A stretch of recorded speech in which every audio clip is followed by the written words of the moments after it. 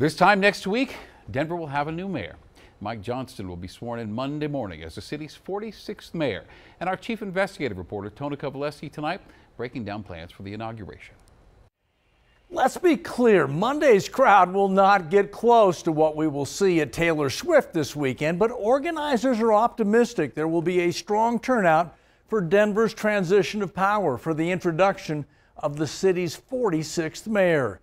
Here's the lineup if you're interested in attending. Doors open at 9:30 Monday morning at the Ellie Caulkins Opera House inside the Denver Center for Performing Arts. Tickets are free and available, but you must register. We have the link available now at denver7.com. The official inaugural program starts at 10 with Mayor-elect Johnston getting sworn in at 1044. Organizers say it's the start of a day of celebrating. We are so excited to celebrate the next chapter in our great city. Denver is vibrant, and the inauguration of Mayor elect Mike Johnston is going to be just as vibrant as our city. But what I got to say I'm excited about as well is what we're doing for the party. We are hosting the first ever Denver Vibes Festival, where we're going to celebrate Colorado musicians, Denver talent, and creatives and makers right in Union Station in the heart of our great city.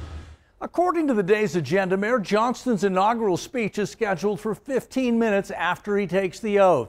If you can't make the event, you can watch it live. We will be streaming it at denver7.com. And the festival and the party kicks off at 5 p.m. at Union Station with Mayor Johnston scheduled to speak at about 8:45.